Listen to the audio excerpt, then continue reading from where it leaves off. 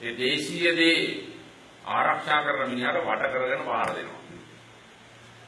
දැන් ඊයේ පෙරේදා මම අර කොළඹ සංගීත සංදර්ශනය පිළිබඳව කරපු ප්‍රකාශය පිළිබඳව දැන් අන්තර්ජාල හරහා වෙබ්බඩ හරහා මට විශාල ප්‍රහාර එල්ල කරනවා.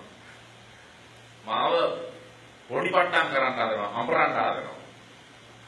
හැබැයි මාව අඹරන්න හදන හැම කෙනෙකුටම මම කියන්න ඕනේ ඇඹරෙන්නේ මාව නෙවෙයි මේ රටේ සංස්කෘතිය. මාව නැති කරන්න හදන හැම කෙනෙකුටම මම කියන්න ඕනේ නැති කරන්න හදන්නේ මේ රටේ දේශීයත්වය. මේ රටේ අපේකම් සහ අපේ උරුමකම් ඒ දේවල් තමයි ඒවයින් දුර්වල කරන්න විනාශ කරන්න හදන්නේ.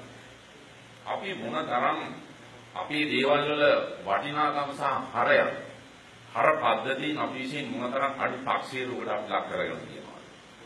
විදේශීය සංස්කෘතියෙන් වැළඳගෙන විජාතික සංස්කෘතියෙන් වැළඳගෙන ඒවාට වටිනාකම් දීගෙන අපේ වටිනාකම් කොතෙක් අපි විනාශ කරගන්නවා. මේ ඉල්ලන සංස්කෘතික නිදහස කුමක්? ඇඳුම් නැතුව පාර යෑමේ නිදහසද මේ ඉල්ලන්නේ? එච්චරයි තව අඩු. ඒකත් ඉල්ලනවා. ඒක නොදෙනකොට තමයි මට ගහන්නේ නෑ ඒකටත් ඉර දීපන්. මේ වගකීම මම බාරගත්තේ. මම පහුගිය අවුරුද්දේ නොවැම්බර් මාසයේ තිබුණ ආණ්ඩුවෙන් ඉවත් වෙලා ඇවිල්ලා අලුත් ආණ්ඩුවක් හැදුවේ.